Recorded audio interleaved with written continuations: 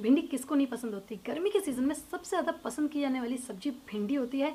और आज हम आपके साथ शेयर करेंगे भिंडी के साथ एक ऐसी रेसिपी जिसमें हमें प्याज, टमाटर वगैरह किसी चीज़ की भिंडी के साथ ज़रूरत नहीं है। Hello friends welcome back to Reena kitchen point आप सभी का मेरे चैनल में स्वागत है।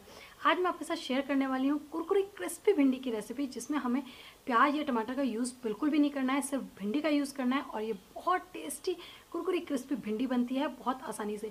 कुछ लोग इसे बनाते वक्त थोड़ी सी मिस्टेक कर देते हैं, जिसकी वजह से भिंडी कुरकुरी नहीं बनती। अगर कुरकुरी बनती है तो थोड़ी देर बाद सॉफ्ट हो जाती है।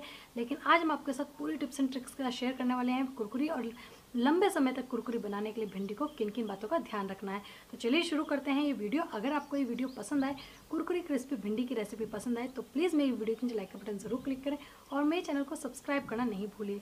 तो चलिए देखते हैं कुरकुरी क्रिस्पी भिंडी बनाने के लिए हमें किन किन सामानों की ज़रूरत है। क्रिस्पी भिंडी बनाने में बहुत लोग मिस्टेक कर देते हैं, जिसकी वजह से उनकी भिंडी कुरकुरी नहीं बनती है। तो आज मैं आपके साथ वो सीक्रेट शेयर करूँगी, जिससे भिंडी कुरकुरी बनती है बहुत स्वादिष्ट लगती है। तो चलिए शुरू करते हैं सभी टिप्स एंड ट्रिक्स के साथ कुरकुरी भिंडी बनाना। तो यहाँ पर हमने ली है 250 ग्राम भिंडी, और भिंडी को अच्छे से धो के साफ़ कर लिया है, और जो पानी है वो भी सुखा लिया है, पोछ लिया है। रिफाइंड ऑयल बेसन, तीन चम्मच बेसन, क्योंकि हमने 250 ग्राम भिंडी लिया है तो यहाँ हमने तीन चम्मच बेसन लिया है। लाल मिर्च पाउडर, नमक, गरम मसाला, आमचूर पाउडर और वो खास सीक्रेट जिससे भिंडी कुरकुरी बनती है, वो है चावल का आटा। तो यहाँ मैंने डेढ़ चम्मच चावल का आटा लिया है और तीन चम्मच बेसन। बहुत लोग क्या गलती करते हैं कि सिर्फ़ बेसन का यूज़ करते हैं कुरकुरी भिंडी बनाने में, जिससे कि वो कुरकुरी नहीं बनती और बाद में सॉफ्ट हो जाती है। लेकिन अगर आप बेसन के, चावल के आटे का यूज़ करेंगे बेसन के साथ तो कुरकुरी भिंडी बनेगी और बहुत समय तक वो कुरकुरी ही रहेगी। तो यहाँ पर चावल का आटा मार्केट में रेडीमेड मिलता है। पिसा पिसाया अगर आपको मिल जाए तो बहुत अच्छी बात है, अगर नहीं मिलता है तो आप चावल को मिक्सी के जार में डाल के सूखे पीस लीजिए। तो वो भी पाउडर तैयार हो जाता है। तो चलिए शुरू करते हैं टेस्टी क्रिस्पी कुरकुरी भिंडी बनाना। शुरू करते हैं कुरकुरी भिंडी बनाना कटिंग से। तो सबसे पहले जो भिंडी को है, अच्छे से धो के पोछ लीजिए, जिससे कि इसमें पानी नहीं रहे। और उसके बाद भिंडी को काटना किस तरीके से है तो हम भिंडी के पहले दो जो पार्ट होते हैं, इन्हें काट लेंगे। और उसके बाद भिंडी को आप इस तरीके से लंबा चार पीसेस में कट कर लीजिए। बस इस तरह हमें काटना है और जो भिंडी के अंदर के बीज हैं, वो हमें निकालने हैं। तो यहाँ पर हम जो बीज हैं, इन्हें अलग निकाल लेंगे। तो बहुत आसान हो जाता है भिंडी के बीज निकालना, क्योंकि चार कटिंग होने के बाद ये आराम से इस तरह से निकल जाता है। तो आप इस भिंडी के सभी बीजों को बाहर निकाल लीजिए। लीजिए तो सभी भिंडी जो हैं, उनको हमने कटिंग करके बीज बाहर निकाल लिए हैं और बीज निकालने बहुत इंपॉर्टेंट है। बीज हम क्यों निकालते हैं कुरकुरी भिंडी में से? एक तो जब भिंडी को तलते हैं तो पूरे तेल में बीज बीज हो जाते हैं, जिसकी वजह से तेज़ तेल में ही भिंडी तली जाती हैं और बीज जल जाते हैं। तो इस पूरी रेसिपी का जो टेस्ट फ्लेवर है, वो ख़राब हो जाता है। तो भिंडी में से आप बीज निकाल लीजिए और कटिंग करने के बाद इसे हम एक बाउल में ट्रांसफ़र कर रहे हैं अब बाउल में भिंडी आ चुकी है और इसमें शुरू करते हैं हम सभी मसाले डालने। तो मैं यहाँ पर सबसे पहले चावल का आटा ऐड कर देती हूँ इसके अंदर। एक, डेढ़। डेढ़ चम्मच चावल का आटा। एक, दो, तीन चम्मच बेसन। अब इसके बाद डाल देंगे मिर्च। एक चम्मच चटपटी स्पाइसी करने के लिए थोड़ा सा गरम मसाला और आधी छोटी चम्मच आमचूर पाउडर। अब सभी मसालों को हम मिक्स कर देंगे भिंडी के साथ और नमक यहाँ पर नहीं डालना है।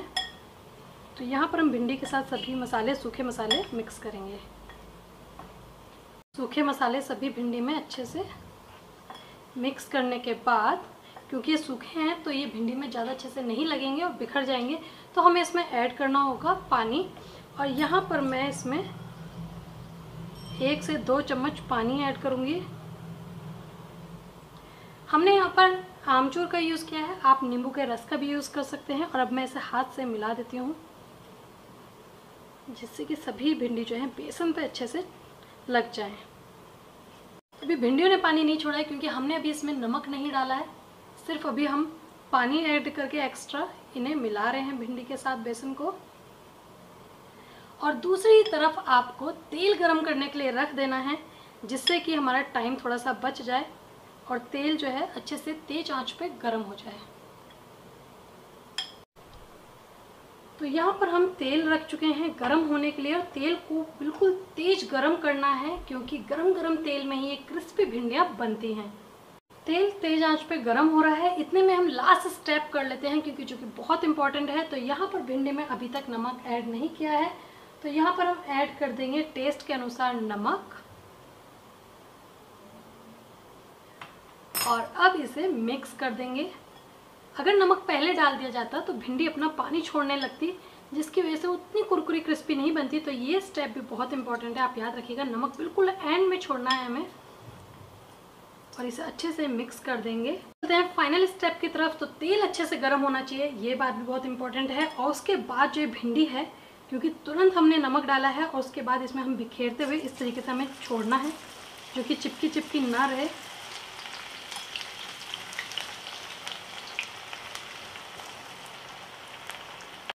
तो एक शिफ्ट हम इसमें डाल चुके हैं और ध्यान रखिए कि भिंडियों को ज़्यादा देर नहीं, बस दो मिनट तक इसे फ्राई करना है।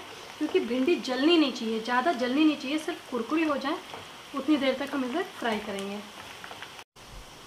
तो देखिए, भिंडी जो है वो कुरकुरी हो चुकी हैं, हमें ज़्यादा कुरकुरी नहीं करनी, जल जाएगी और फिर टेस्ट इसका बिल्कुल ख़राब हो जाएगा। तो यहाँ पर अब हम इन्हें बाहर निकाल लेंगे।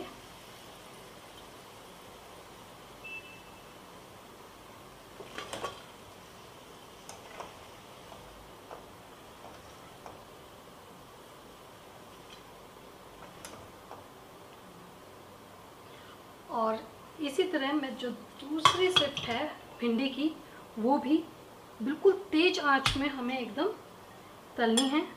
तो एक बार मिक्स कर लेंगे।